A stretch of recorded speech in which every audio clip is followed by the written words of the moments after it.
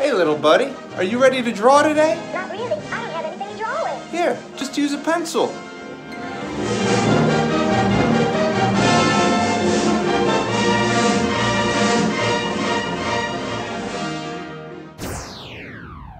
Okay, Grover Cleveland, today we're going to start with some realistic drawings, or we're going to try to make them look as real as possible, and we're going to do some anatomical drawings, which means we're going to be doing drawings of the human body. And today we're going to start with the eye, the human eye. Um, I'm going to do one eye, but you can do two. This is a good thing to practice. Expect to mess up. The first one you do will look kind of weird um, because you're still looking. You're still learning, rather. So don't be afraid. Use a pencil if you want. I'm going to start with a marker. And let's begin. First thing you need to realize about the eye is it's not a circle. The eyeball is a circle, it's a sphere, but that's stuck inside your head and your eyelids and stuff like that are covering over it. And so they give it more of the appearance of more of like a football shape. Our eyes are like footballs. I'm gonna do a little V down here. See that little curve? That's a, called our tear duct. That's where your tears come out. So I have this long curve, and it's almost gonna come to a point. I'm gonna swoop down here and come up, and come to a little point here. And people's eyelids are all shaped different ways, so it's hard to go wrong. I'm gonna do a little line here.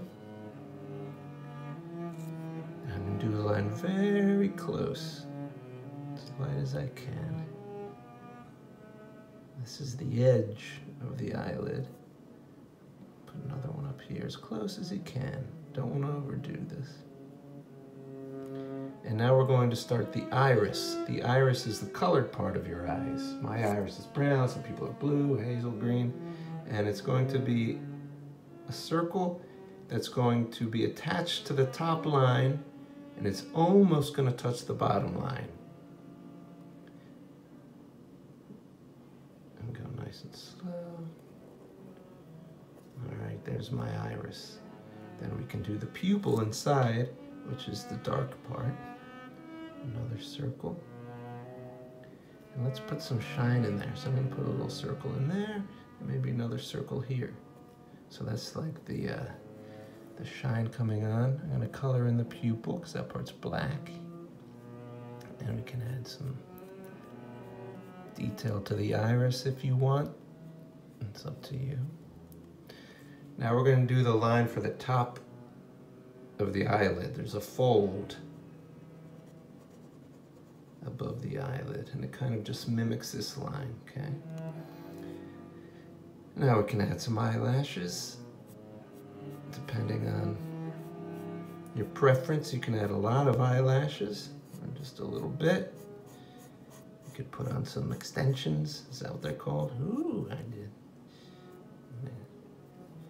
Show some details. All right, so this person is wearing makeup. All right, so there's one eye. Let's see if I can do the other one. So the nose would be about here, coming down.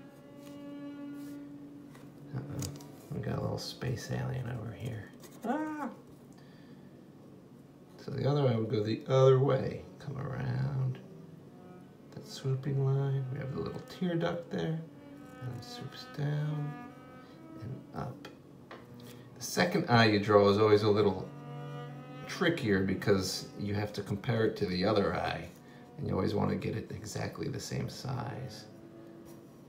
Okay, there's the eyelid. I'm doing a different order this time. And let's get that iris circle. Remember, it touches the top, almost touches the bottom. Now, if your person's looking a different direction, of course that could change. If they're looking down, then maybe it's not touching the top at all. Maybe it's touching the bottom.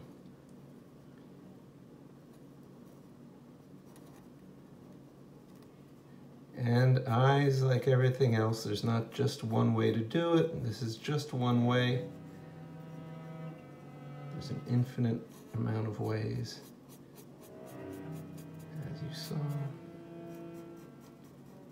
Oh, hello. We can do the eyebrows as well. Everybody's eyebrows are different. I like to use little lines like that.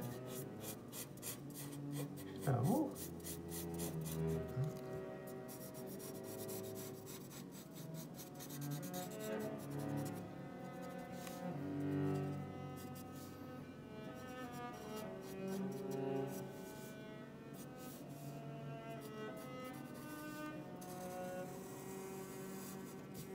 Okay, go ahead and try out some eyes, guys. See what you can do. Bye-bye.